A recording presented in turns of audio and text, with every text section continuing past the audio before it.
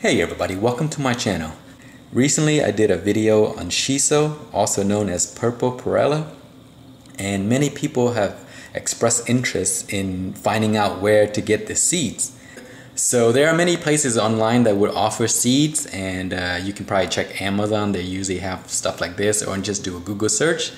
But um, I will show you another way to get these seeds without having to spend a lot of money all you have to do is visit your local Asian supermarket. And if you live in Houston, there's a huge supermarket uh, on Bellaire called Hong Kong Supermarket, and this is where I got it. You can get this for a dollar a bundle. Look how much of these leaves you get for just one dollar.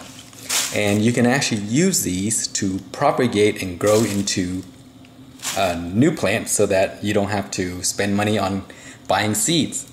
So let me show you how to do that.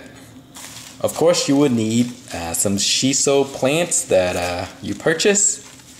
And when you buy them, make sure they're nice and uh, fresh. And that some of them will have a nice branch like this. Uh, don't buy the one with just leaves only. So buy something that is nice and fresh and firm and nothing is shriveled up yet and it's still nice and plump. So those are the kind that you would uh, need to look for.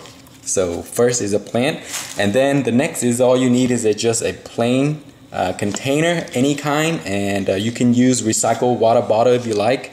Um, I have a bunch of this that I recycle so I'm gonna use this. All you have to do is cut these out.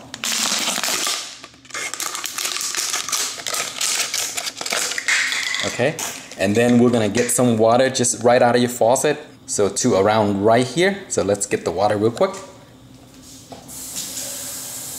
All right, so here it is. The water is filled. So what we're gonna do next is prepare this plant to uh, be placed in the water. And uh, what I recommend is that you strip everything from the bottom here because that part is gonna go in water so you don't need anything there. You want that part to root. And then you want to cut all of the larger leaves off because uh, that would help promote rooting faster.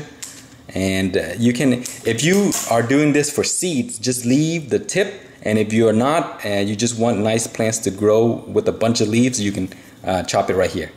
But uh, for the purpose of this video, for those that want seeds, this is what we're gonna do. So what you're gonna do next is you're going to trim this part off right here, the dry area, just uh, a 45 degree angle, like that, so that it can have a way to uh, soak up water to keep itself alive. And then we're gonna put that right in there. And uh, you always want to do more than one just so that you can secure some success and not waste time. So these are so inexpensive, I'm just going to do a bunch more and I'm using these leaves anyway. Okay, and then uh, we'll just cut this part out and then we'll leave it in here. All right, so we have three nice uh, cuttings there so what we're gonna do is we're gonna place this by a bright window. So you need a spot where it can get some sun. It doesn't have to be uh, sun all day, but a little bit of sun will work just fine. Or if you have a shaded place outside that will have a good amount of lights, that will work as well. Uh, if you put this on a counter on your kitchen, it may not work because the, the lights there is not strong enough. So let me show you where I'm gonna put it.